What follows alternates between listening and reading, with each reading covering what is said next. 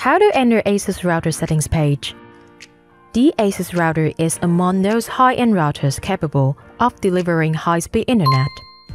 Accessing the settings page and configuring it to meet your need is simple. In this video, we will walk you through the initial step. Accessing the settings page of your ASUS router through the intuitive PC interface. Before we begin, ensure your router is powered on and connected to your PC either wired or wirelessly. Make sure that the power LED is lit. On your laptop, open the browser and visit www.asusrouter.com.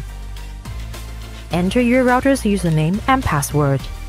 If it's your first time logging into your ASUS router, or if you've recently reset it to factory defaults, you will need to set it up initially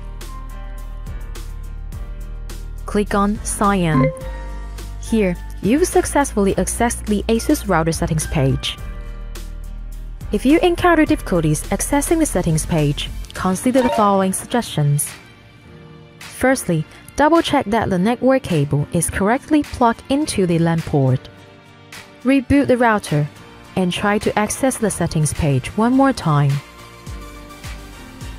Or you can restore your router to its default settings locate the reset button or refer to the user manual for guidance. Power on the router. Press and hold the reset button until the power LED starts flashing. Release the button and wait for the signal LED light to stabilize. The restoration process is complete. And now you can re-enter the router settings page.